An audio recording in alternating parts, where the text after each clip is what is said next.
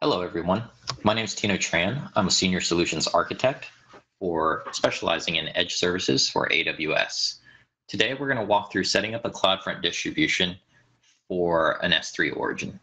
This is common practice for applications storing static content in an S3 bucket and looking to accelerate it using CloudFront's caching capabilities at the edge. To start, you'll need to log into your AWS console and select S3 from the service list.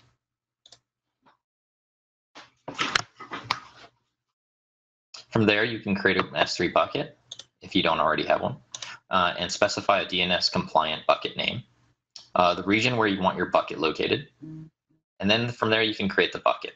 I already have a bucket created, so we'll go ahead and use that one. And as you can see here, it is S3 CloudFront demo bucket. I've already uploaded three JPEG files to this bucket. Uh, if you would like to upload additional buckets, you can either use the console or S3's APIs to add more files. It's worth noting that when you initially create an S3 bucket, it takes time to uh, propagate that DNS name change, uh, the, the name for that S3 bucket out to DNS, uh, which could take up to 15 minutes.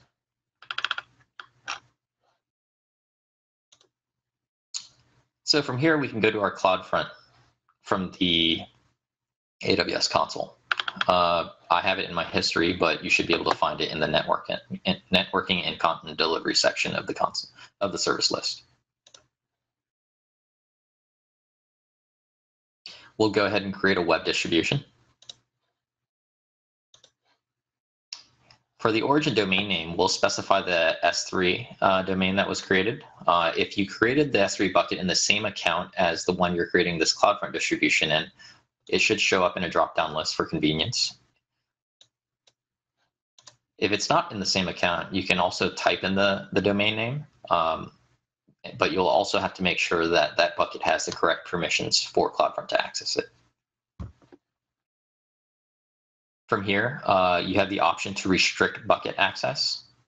Uh, so what this does is when you select yes, it'll ask you to create an origin access identity or select an existing one. Um, we'll create a new one here. And then it'll give you the option to allow CloudFront to update that bucket policy for you so that CloudFront can read the objects from your bucket. Uh, over this section right here, you can specify an origin path if you put all your objects in a subfolder. Since everything's in the root, root bucket, uh, for my bucket, we'll, we'll leave that blank. For origins that care about uh, the header name, you can provide a custom origin header with a, a, specified value that CloudFront will forward to the origin on each request. This is useful for custom origins that would like to know which request came from CloudFront uh, versus perhaps another client. Under default cache behavior settings, I'll go ahead and set this to redirect all HTTP requests to HTTPS. Uh, but you could select it. You, you do have the option of selecting HTTP and HTTPS, uh, so you could support requests using either Pure Pro protocol, or you can specify to only support HTTPS, in which case um, HTTP traffic would get dropped. We'll, we'll stick it uh, to redirect HTTP to HTTPS. CloudFront allows you to specify which HTTP methods you want it to accept. By default, it's get and head. If you specify uh, either the other two options, you have the option of configuring CloudFront to cache the options method. By default, we only cache get and head. In this example, since we're only doing read-only operations, we'll, we'll leave it at get and head.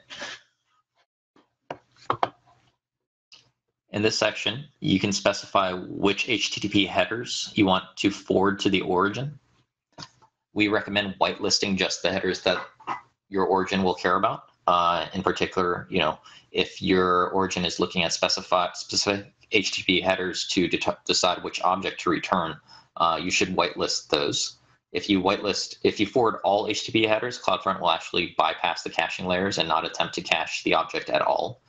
Um, so it's important to make sure that you know which HTTP headers your origin cares about.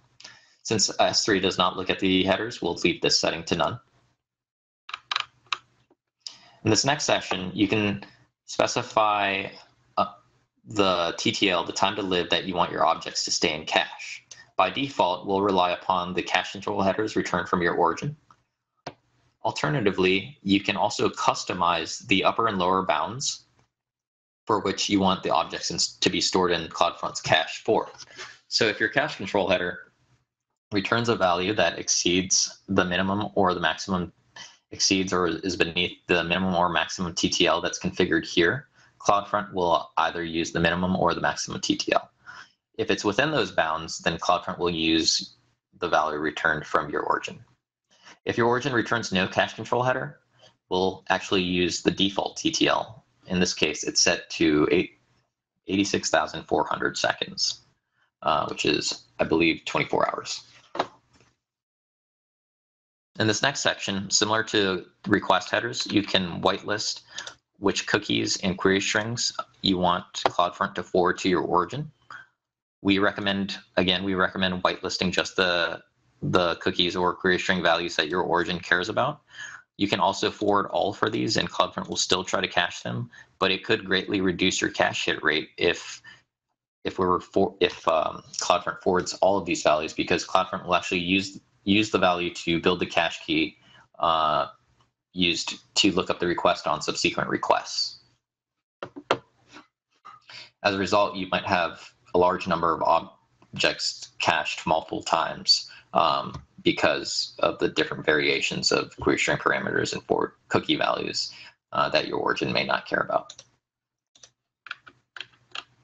If you're serving smooth video content, you can select yes here and CloudFront will parse the manifest file and um, prefetch the subsequent segments.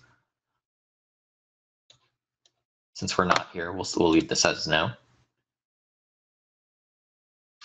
This is our signed URLs or signed cookies feature for serving private content. If you want to restrict viewer access to only authenticated users, uh, CloudFront will only accept requests that have a valid signature on the URL or the cookie, depending on how you have it configured. when you do this, you'll need to specify uh, who your trusted signers are, um, if it's just this within this account or specific accounts. We'll leave it to no here. You can also configure CloudFront to automatically compress content that um, that has the accept encoding header of gzip. Uh, if for for specified content types, uh, CloudFront will go ahead and compress that for you at the edge. Since we're only returning JPEG files here, uh, we're not going to use this feature. But let's say you were to uh, want to compress your JavaScript files or in CSS files, you can use this feature to compress and accelerate um, delivery of those objects.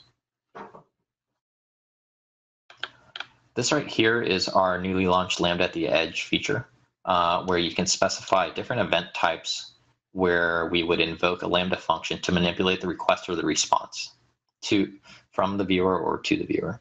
Uh, for response type event types, uh, we would manipulate the the you can invoke a Lambda function to manipulate the response um, on the way to the viewer uh, before it goes to the viewer, or uh, on the way back to the viewer as soon as we get it from the origin. Uh, for request type event types, um, you can configure it to invoke a Lambda function to manipulate the request as soon as CloudFront re receives it from the viewer, or just before CloudFront sends the request to the origin.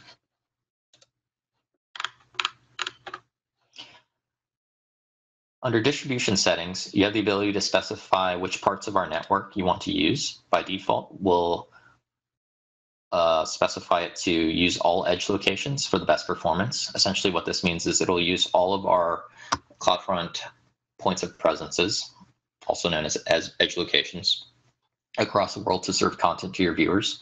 If you knew you only had viewers in specified regions such as US, Canada, Europe, and Asia, or just US, Canada, and Europe, you can specify a lower price class, which would reduce your CloudFront costs and uh, restrict your viewers to just using edge locations within those regions. Uh, this does not mean that viewers outside of those regions could not access your content. It would just mean that they would get routed to the nearest uh, edge location in this within the specified regions. If you're using our web application firewall product, uh, you can specify the access control list you'd like to apply to this CloudFront distribution here. In this section, if you are using a custom domain name to uh, serve your content, you can specify it here as a CNAME. So let's say uh, www.example.com was serving my content. I would put it down here, and then I would create a DNS CNAME record uh, that would point to the CloudFront distribution domain that would get created when I create this distribution. So here's an example of a CloudFront domain, d1111 abcdef.cloudfront.net. Uh, when, when you use the default CloudFront domain name, we'll, off, we'll use the default CloudFront certificate, SSL certificate. However, if you were to use a custom uh, domain, you can upload or request a SSL certificate from ACM, our certificate manager service, and uh, associate it to this CloudFront distribution. For this example, we use the default certificate. You can also specify your HTTP versions that you want to use. Uh, a default root object, let's say you had an index.html file. You can turn on logging for access logs and specify the S3 bucket that you want that those log files to be written to. You can specify a prefix for the name of those log files. And you can turn on cookie logging. By default, CloudFront enables IPv6. And you can specify a description for what this distribution is used for. From there, we can create the distribution. It'll take approximately 15 minutes for the distribution to deploy worldwide. Since I already have one created, I will not do that and I will show you that distribution. So here's a similar distribution that's created. Once the, the distribution is created, you can click on it and get to this screen where you'll see a number of tabs and the configuration settings that we've specified previously. From there, you can add additional origins. You can add multiple cache behaviors. Uh, our cache behaviors are based on path. So if you had, by default, everything goes to the default cache behavior, but let's say you wanted to create a cache behavior that uh, would route, would handle the request or caching differently uh, for, you know, let's say an admin path, you can specify the path pattern and which origin you'd want to route the request to, and then all the same configuration options uh, as in the initial default cache behavior wizard are available here. CloudFront also allows you to create uh, custom error pages or change uh, how long we cache error responses in cache for. And we'll do that by error code. So let's say if you wanted to retry for every 403, um, you can specify an, a minimum TTL of zero seconds. By default, we cache everything for 300 seconds. Uh, this is to alleviate some of the load on the origin. If, if you wanted to, you can actually create a custom error response and specify the path to that HTML file, let's say, that uh, you had for that error response. So in the example they show you here, it says uh, every 403 would actually get routed to an error pages slash 403.html path. And then you can also change the HTTP error code or response code uh, that's returned to the viewer. In the next section, or next tab, you can enable geo restrictions, which will allow you to create a whitelist or blacklist of countries where you you want to either allow or disallow our viewers to see your content, right? So if you create a whitelist, you can say only viewers in Gambia or any of these number of countries can view this distribution. Um, alternatively, if you did blacklist, you can, it'll assume, you know, every, everybody has access um, unless they're specified.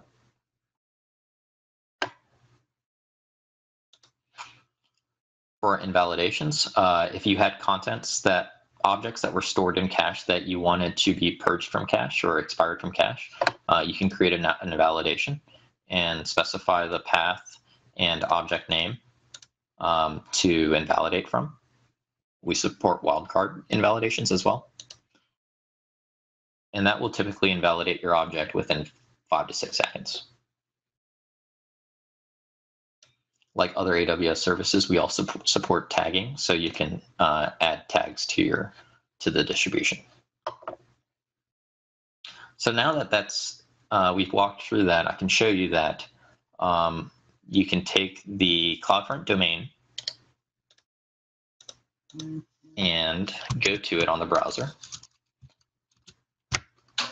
And now we can see the object that was in the S3 bucket if you have a plugin that allows you to view HTTP response headers, you can see that because I just went to the HTTP URL, it was redirected to the HTTPS URL. And then um, the subsequent request was actually a hit from CloudFront because I have this object already stored in cache from a previous request. So that concludes our demo for creating a CloudFront distribution for your S3 origin hopefully that helps you get along your way with using CloudFront.